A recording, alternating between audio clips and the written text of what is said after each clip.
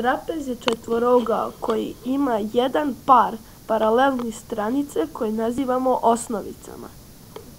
Osnovice trapeza označavamo sa A i B, a razlikujemo ih po dužini kao kraću i dužu stranicu. Neparalelne stranice koje nazivamo kracima označavamo najčešće sa C i D. Osobine trapeza najlakše ćemo uočiti prilikom njegovog crtanja. Kod crtanja raznostraničnih trapeza, koji su najčešći slučaj, prvo ćemo nacrtati osnovicu A. Zatim njoj paralelnu nešto kraću stranicu B. Zatim iz temena A povučemo pravu koja spaja tačku D i dobili smo krak D. Kada to isto uradimo iz temena B i spojimo ga sa temenom C, dobili smo i drugi krak C. Ovdje vidimo da su paralelne stranice A i B, odnosno da je AB paralelno sa CD.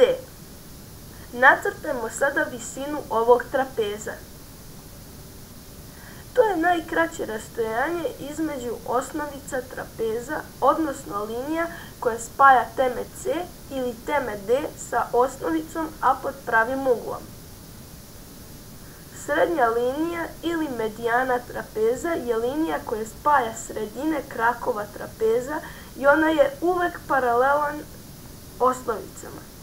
Obeležavamo je sa m, a njena dužina je jednaka polovini zbira osnovica, odnosno m je jednako a plus b podeljeno sa 2.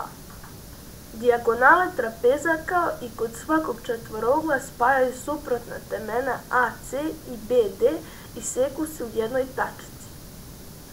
Obeležimo sada uglove trapeza alfa, beta, gama i delta.